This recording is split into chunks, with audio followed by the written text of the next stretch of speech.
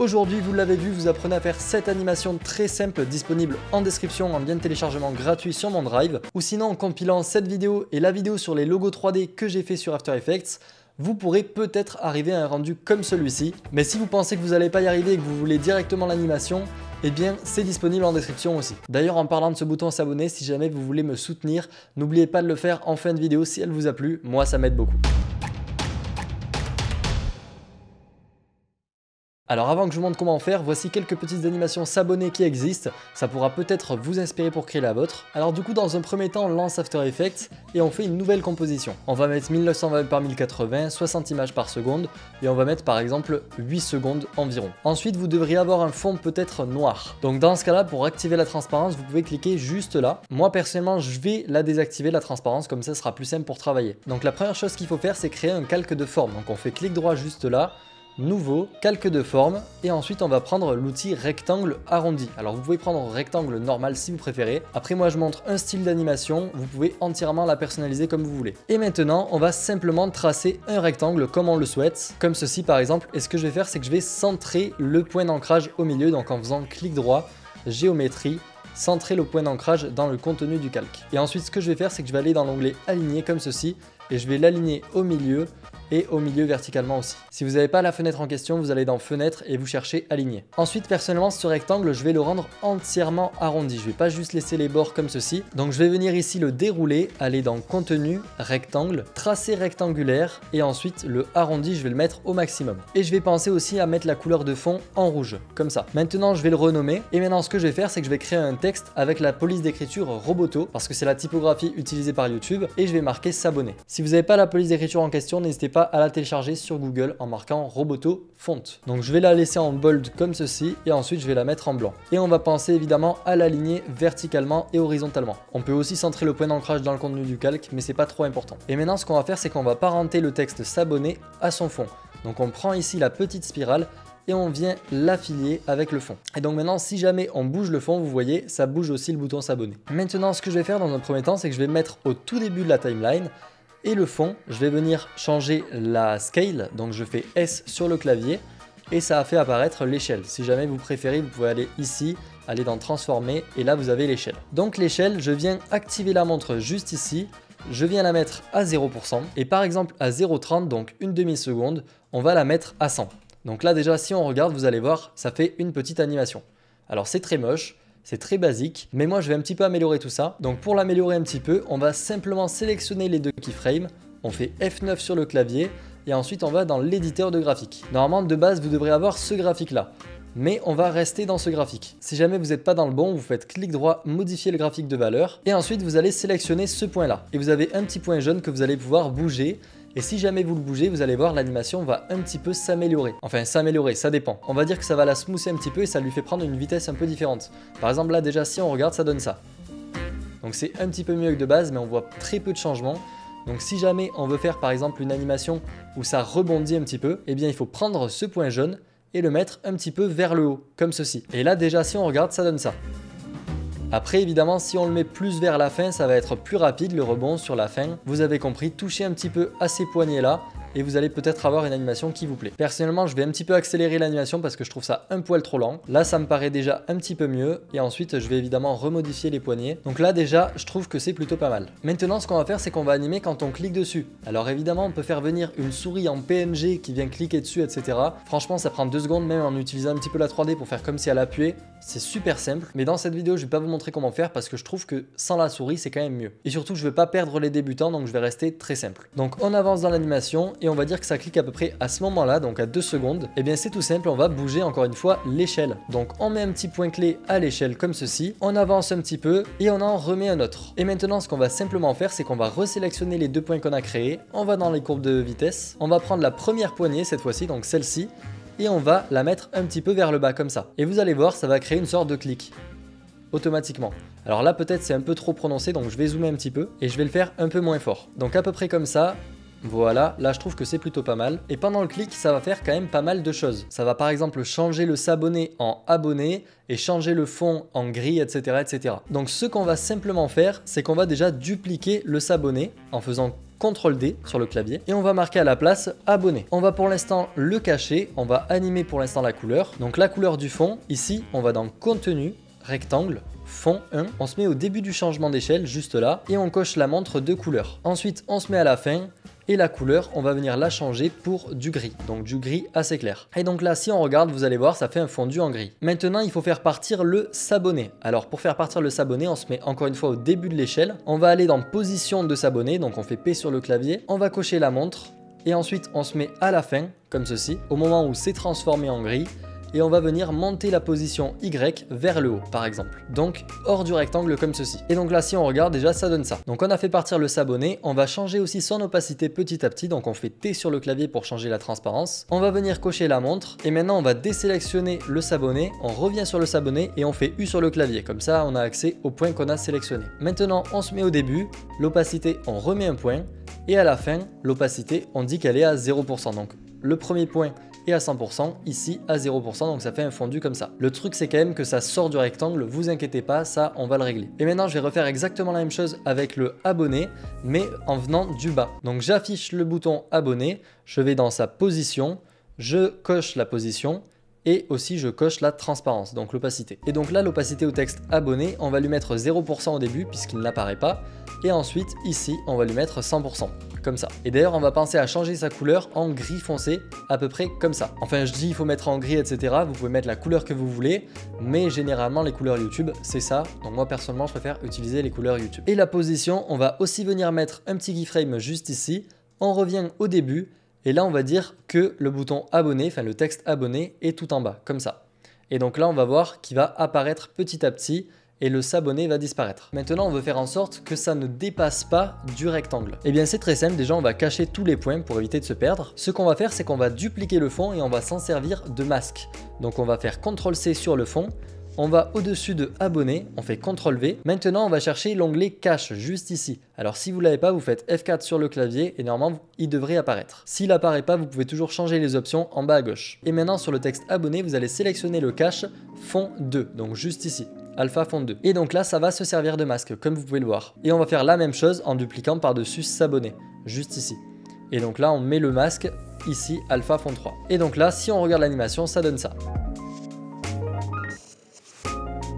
Et juste avant que je passe à la suite en vous montrant l'animation de la cloche, je vous parle rapidement de Own qui est le sponsor de la vidéo et qui m'aide beaucoup. C'est un site internet où vous pouvez avoir accès à des centaines de packs d'overlay, mais surtout ils ont leur plugin Own Pro sur OBS Studio qui vous permet d'avoir 5 packs d'overlay gratuitement disponibles. Et si jamais vous prenez l'abonnement à 8 euros par mois grâce à mon code WIZNIX qui vous réduit par 2 le prix total de l'abonnement, vous pouvez avoir accès à plus de 600 packs d'overlay alerte directement disponibles sur Owned. Et en plus de ça, vous me soutenez, donc merci beaucoup à tous ceux qui le font. Maintenant pour ce qui est de la je vais importer une image pour pouvoir vectoriser la cloche. On pourrait le faire directement sur Adobe Illustrator, mais moi je vais le faire sur After Effects. Donc voilà, j'ai importé une image, malheureusement elle est noire, donc je vais la mettre en blanche pour bien la voir. Donc pour ce faire, on va dans les effets et je cherche remplir, et ensuite je viens lui mettre une couleur blanche. En soi, au final, j'ai pas vraiment besoin de la vectoriser, donc je vais l'utiliser comme ça, mais en soi, pour la vectoriser, c'est très simple. Vous prenez la plume juste ici, et ensuite vous faites tout le détour. Bref, du coup, on a notre cloche, et on va venir la mettre d'une couleur plutôt jaune, du coup. Ensuite, évidemment, vous pouvez les personnaliser, les mettre en 3D, c'est pas très compliqué. Moi, je reste encore une fois à plat, très basique. Et ce que je vais faire maintenant, c'est que je vais prendre tous les calques juste ici que j'ai créés et je vais créer une précomposition en faisant clic droit précomposition et je vais l'appeler s'abonner. Comme ça, c'est plus simple et ça fait un groupe directement. Si on double-clique dessus, on a accès au groupe. Et ce que je vais faire maintenant, c'est qu'à partir du moment où j'ai cliqué sur s'abonner comme ceci, je vais faire apparaître la cloche. Mais juste avant ça, il faut bien activer le flou de mouvement à tous les calques. Je trouve ça plus joli personnellement. Donc je vais venir l'activer à tous les calques ici. Comme ça, on aura une animation un petit peu plus smooth, plus jolie. Et au moment où ça clique, on va simplement décaler la précomposition s'abonner. Donc on va dans la position, on fait la montre comme ceci. Et au moment où ça clique, comme vous le voyez, on va la faire se décaler petit à petit sur la gauche comme ça, histoire que la cloche soit au milieu avec le bouton s'abonner. Alors déjà là la cloche est un petit peu trop grosse donc je vais réduire l'échelle comme ceci et on va faire en sorte que ce soit au milieu comme ceci. Du coup si on regarde l'animation ça donne ça. Au moment où on clique sur le bouton s'abonner vous voyez ça décale automatiquement le calque, enfin la précomposition. Maintenant il faut faire apparaître la petite cloche et pour la faire apparaître encore une fois c'est très simple on va simplement déjà faire la position. Donc on vient cocher la montre ici on va au deuxième point juste là, on recoche la montre. Donc ça c'est la position d'arrivée finale qu'on veut et au début, on va dire que la cloche est plus à gauche, comme ceci. et déjà qu'elle est en dessous la précomposition s'abonner. Donc si on regarde, ça fait ça. Et d'ailleurs, je vais penser à activer le flou de mouvement aussi sur le s'abonner et sur la cloche, comme ça. Maintenant, on va venir changer aussi l'échelle de la cloche. Donc je viens changer l'échelle comme ça, tac, je coche la montre, je mets un point au début, à la fin, et au début, je viens venir la mettre à 0% et comme ça elle va apparaître petit à petit. Et on peut venir bien évidemment changer ici en faisant F9 pour la faire rebondir comme le bouton s'abonner. Donc là ça me paraît plutôt pas mal. Maintenant ce qu'on va faire c'est qu'on va cliquer sur la cloche. Donc pour ce faire on va avancer un petit peu l'animation par exemple par là. Ici on a notre cloche d'ailleurs je vais la renommer ce sera plus simple. Tac. Et évidemment comme d'habitude on va changer l'échelle. Donc je vais venir cliquer juste là sur le keyframe d'échelle. J'en mets un au début, un à la fin comme d'habitude. Et je vais venir encore une fois les sélectionner donc là, c'est exactement les mêmes, donc ça va être tout plat, normal. Et je vais venir comme tout à l'heure, prendre la poignée de gauche et la tirer vers le bas comme ceci pour pouvoir faire une sorte de clic. Donc vous pouvez la tirer de plusieurs manières pour faire un clic différent. Donc si jamais on veut la faire se réduire encore un petit peu plus, eh bien on peut tirer un petit peu plus vers le bas et en fait là, ça va tout simplement la rétrécir de plus en plus. Je la tire vraiment vers le bas, là elle va devenir tout petite. Moi je vais pas aller jusqu'à là non plus, je vais juste la réduire un tout petit peu comme ça. Et en même temps, pendant que ça clique dessus, on veut que ça change la couleur. Donc là, on va pas aller dans contenu et fond, mais on va ici dans remplir, donc les effets, juste ici. On coche la couleur, on fait U sur le clavier, ensuite on va à la fin et on change la couleur pour du gris un petit peu plus foncé que le bouton, voilà comme ça. Et donc là vous voyez, ça fait ça. Et maintenant pour finir la base de l'animation, on va simplement ajouter une petite rotation. Donc quand ça clique à peu près là, on va faire R sur le clavier pour avoir accès à la rotation, on coche la montre, ensuite on avance un petit peu, on va lui dire par exemple que la cloche va aller à moins 26 degrés, moins 28 même. On avance encore un petit peu, on va dire qu'elle va aller à plus 28, plus 25 même, comme ça c'est un petit peu moins. On avance un petit peu, elle va à peu près à moins 5 degrés, et on avance un peu et elle est à 0 degré. Et donc là en fait ce qu'on a fait c'est que si on regarde, vous voyez, la cloche va vers la droite, à gauche, et en fait elle sonne un petit peu. Donc si on regarde l'animation, ça fait ça.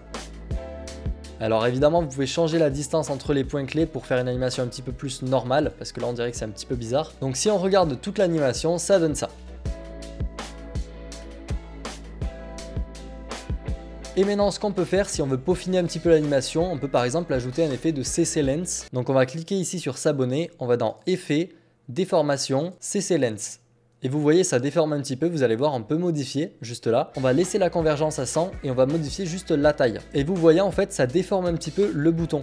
Donc ce qu'on peut faire, c'est dire que par exemple, quand il est à son maximum, donc à peu près par là, la bulle soit à peu près à cette taille-là pour bien déformer le bouton. Donc on va animer un petit peu la bulle juste ici en faisant ici la montre, comme ça. On fait U sur le clavier pour avoir accès au keyframe. Ensuite, on se met au tout début et on va augmenter en fait le size, vous voyez, pour rendre l'animation normale. Donc moi, je vais l'augmenter à peu près jusqu'à 370. Et je vais le mettre au tout début. Et vous voyez, si on regarde l'animation, ça fait ça. Alors là, on comprend pas trop, donc je vais la mettre au ralenti. Ça fait ça, tac, et là, ça déforme l'animation. Enfin, elle n'est pas encore normale, on va la faire redevenir normale. Évidemment, vous inquiétez pas pour les espèces de sphères qu'il y a sur le côté, c'est pas grave, on peut mettre un masque pour cacher ce côté-là. Donc sur cette partie où le bouton redevient à sa taille normale, on va faire en sorte que le size se réaugmente petit à petit pour avoir la taille normale, donc 178 c'est la bonne taille. Donc je vais prendre cette valeur 178 et je vais la mettre aussi au début, ce sera mieux que 372. Et donc là si on regarde ça donne ça. Encore une fois, on comprend pas trop parce qu'il n'y a pas le masque. Et donc pour créer un masque, rien de plus simple, on va créer ici un solide, donc clic droit nouveau solide. On fait en sorte qu'il fait pile la taille du bouton, ou presque, comme ceci. Et on va simplement dire à s'abonner de prendre le masque ici, bleu roi foncé uni, donc euh, le solide qu'on vient de créer. Et donc là, il apparaît que sur cette partie-là. Donc si on regarde l'animation, ça donne ça. Alors là, j'avoue, la déformation, elle est un peu abusée. Donc je vais peut-être la modifier un petit peu. Donc le size ici, je vais augmenter un petit peu. Par exemple, au lieu de 71,81. Et donc là, si on regarde, ça donne ça. Ensuite, autre petit truc que vous pouvez ajouter, c'est de la lueur. Alors, il faudra faire très gaffe avec la lueur parce que la lueur, c'est une vraie galère quand on veut faire des incrustations fond vert. Évidemment, vous pouvez directement importer votre projet After Effects sur Premiere Pro en .avi, .mov avec un fond transparent évidemment. Mais si vous faites, euh, comme je l'ai dit, du fond vert, vous allez avoir de gros problèmes au niveau de l'incrustation de la lueur. Donc, pour ajouter cette lueur, on fait ici lueur diffuse. Donc, juste là, lueur diffuse, on va l'ajouter au bouton s'abonner. Et donc là, déjà, sans rien toucher, vous voyez, ça ajoute une petite lueur. Certains vont aimer, d'autres non. On peut augmenter le rayon comme ça. Alors le problème, vous voyez, c'est que ça reste uniquement sur la partie du cache. Donc ce qu'on va faire, c'est qu'on va simplement supprimer ici l'effet lueur diffuse.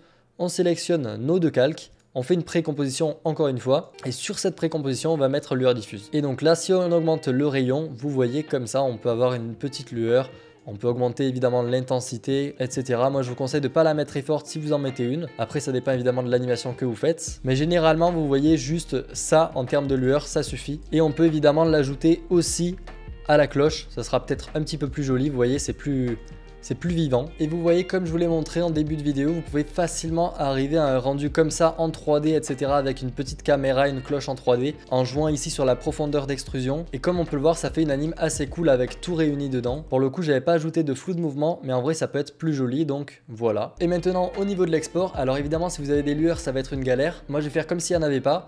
Donc je vais les désactiver comme ceci. Quand on est sur la composition où il y a tout ce qu'il faut, toute l'animation comme on veut, avec le bon temps, etc. D'ailleurs, si jamais vous voulez remodifier le timing, vous faites clic droit, paramètres de composition et vous changez ici la durée, et eh bien vous faites CTRL M sur le clavier, ça vous ajoute directement à la file d'attente de rendu le projet et vous pouvez directement exporter via After Effects avec le module de sortie juste là en choisissant le format que vous souhaitez donc QuickTime et AVI, ça comprend la transparence, donc RVB plus alpha. Mais encore une fois, c'est pas garanti la compatibilité avec Premiere, etc. Donc le mieux, c'est quand même de toute façon de faire une incrustation fond vert en exportant en MP4 ou directement d'ouvrir l'animation avec Premiere. Bref, vous pouvez exporter via After Effects, mais vous pouvez aussi exporter via Adobe Media Encoder très facilement en H264, donc en MP4, et vous avez votre animation. Je viens de me rendre compte que la caméra avait bugué. Bon, c'est pas trop grave, c'est la fin de la vidéo. En tout cas, si jamais elle t'a plu, comme je l'ai dit au début, n'hésite pas à t'abonner et à mettre un petit pouce bleu la vidéo. Et si jamais t'as pas compris quelque chose, passe sur mon Discord en description ou via les commentaires, j'essaierai de vous répondre. Sur ce, moi je vous laisse sur cette vidéo dans laquelle je vous apprends comment créer un logo en 3D sur After Effects. Et moi je vous dis à la prochaine.